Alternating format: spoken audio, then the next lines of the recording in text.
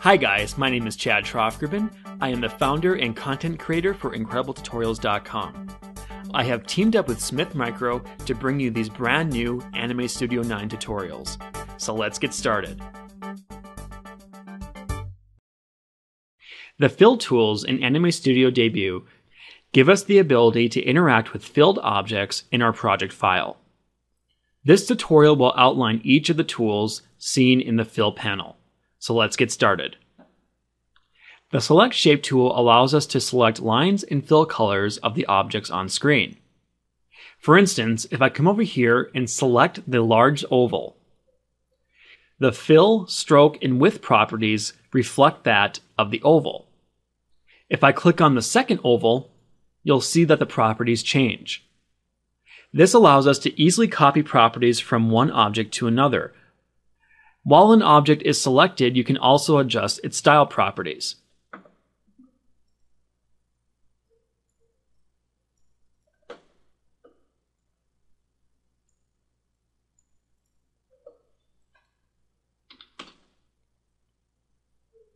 The Create Shape tool allows us to fill in certain points on a drawn object.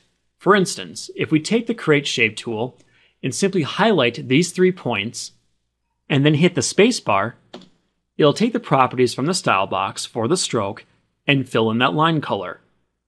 Next, if you highlight the entire object, you'll see that it's checkered, meaning that anything that's checkered will be filled in. Finally, if you wish, you can create a space or a gap within an object using this tool.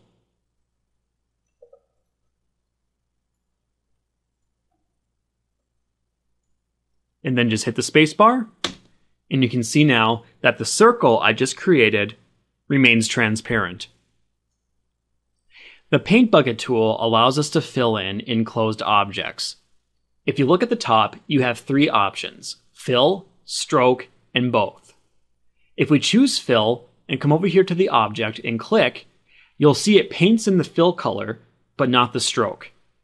If we choose stroke and click, you'll see it fills in the line stroke properties, but not the fill properties. And finally, if we use both, you'll see that it paints in the fill and the stroke, giving you a complete fill.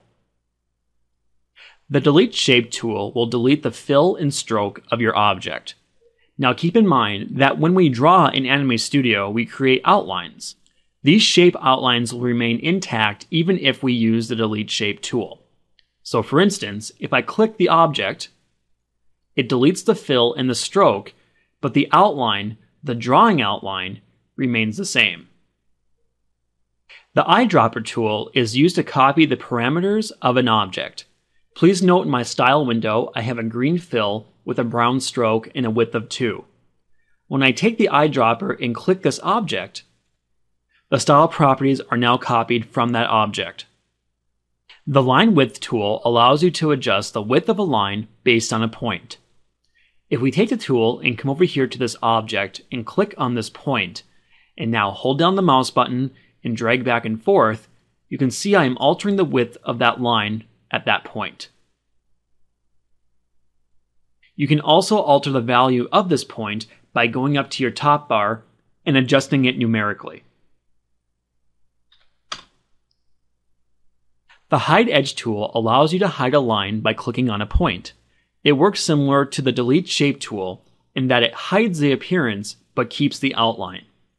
So coming over here to this shape, I can click on this edge and the line is removed. However, the outline of the shape remains intact. And that does it for the Anime Studio Debut fill tools.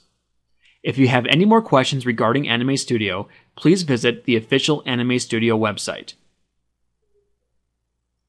Thanks for watching, guys. I have more tutorials out there, so check them out, and I'll see you next time.